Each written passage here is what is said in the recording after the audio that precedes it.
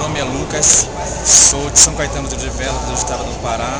É pela primeira vez que estou participando desse, desse grande evento né, a nível mundial, Campus Party. E para mim é interessante o que está acontecendo, principalmente na parte da, da robótica, que era uma coisa muito distante da minha realidade, onde cheguei a, a realmente interagir com o robô e também na parte da, da astronomia.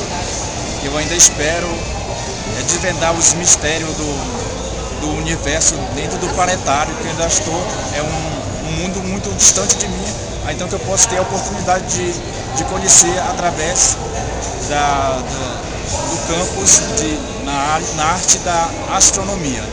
E também mais na parte da, da criação de software livre.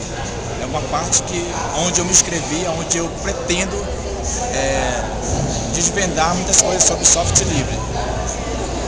Também na parte da, das oficinas, onde eu, realmente conheci como funciona um computador por dentro, como é, é essa, essa, essa, engenharia que faz o computador fazer todas as, as funções. E também a parte da internet, da internet que é um servidor que compete, que, que tem uma competência de servir a, a todos e não só um grupo de pessoas. Esse foi um seminário também, uma palestra que foi dada e que eu achei muito interessante.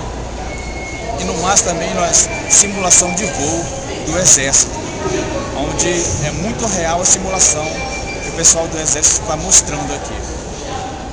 E eu quero agradecer também as pessoas pela qual eu pude estar aqui nesse evento, minha comunidade que, que me, me ajudou e tudo. Só muito obrigado.